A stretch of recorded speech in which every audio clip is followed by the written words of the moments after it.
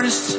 But here I am, cause I've been laying under palm trees waiting for the summer, knowing there's nowhere to go. Cause I am happy.